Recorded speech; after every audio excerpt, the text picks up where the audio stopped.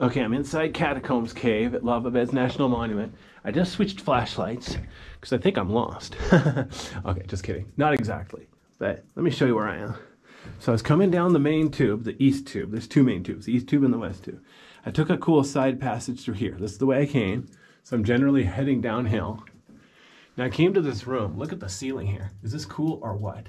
It's really tall, like eight feet tall, maybe closer to 10 feet tall. Brown instead of gray.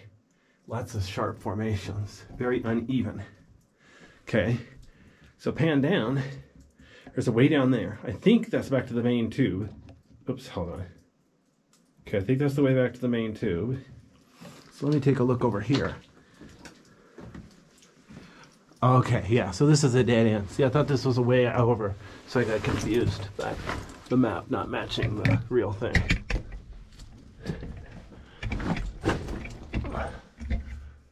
Okay, yeah, the important thing about caving, stop to look around once in a while so you can figure out where in the world you are. Even if it's just one tube, it's still a good idea to pay attention. Notice how the floor is not flat at all. The cave is sloping downhill. I'm not sure the total elevation loss from the entrance to the lower end, but it's obviously dozens of feet. Because look at this. I'm going down there. I think that's back to the main tube. So I'm gonna climb down there and then turn right, keep heading down towards the lower end of the cave. Luckily, the rocks here not slippery at all. Lots of traction. So I don't mind climbing up and down like this. Some caves, they're very, very smooth. Either they're worn smooth from wear and tear, or they're uh, just naturally smooth, like from ice or something, their type of rock. So it's important to make sure you have enough traction. Don't ever go down unless you're absolutely certain you can get back up. You don't want to get yourself trapped down inside of a hole. Wow, this is a huge tube. I didn't realize it was this big. Okay, cool. So let me get my uh, backpack back on. I want to show you what I just did. So this is the main tube. That's the way out. I'll probably go back out that way. The elephant's rump is right around the corner. This is the way I just came down. Notice how it's a slope, but there's lots and lots of welded rocks. So very, lots and lots of traction. Plenty of stuff to step on and grab onto. This is the way through to the lower end of the cave. This is where I'm gonna attempt to go through. See, it's only about three feet tall. So I don't have to belly crawl. I just sort of have to crouch down. But doing this, I have to be careful of my head.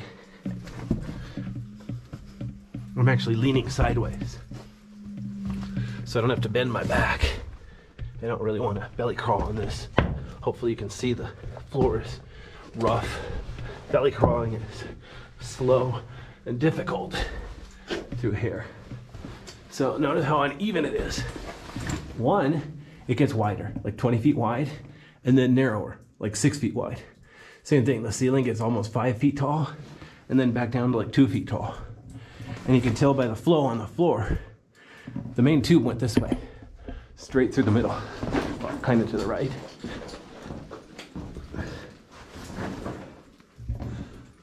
Let me look back again.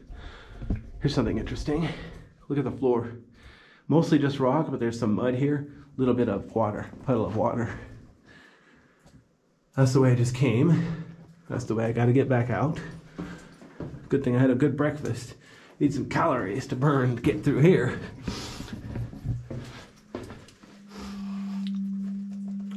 Yeah, lava beds itself is uh, kind of in the middle of nowhere. But within an hour drive, there are a few decent cities, have motels, restaurants, gas stations, all that nonsense.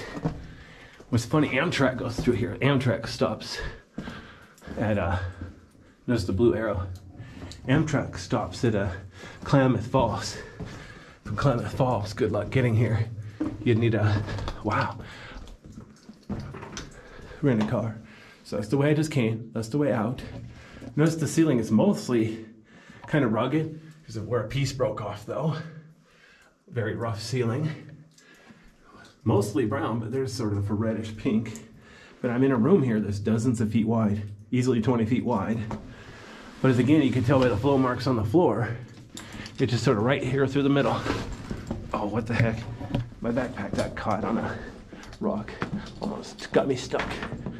As you can see by the flow lines, there's also a crack.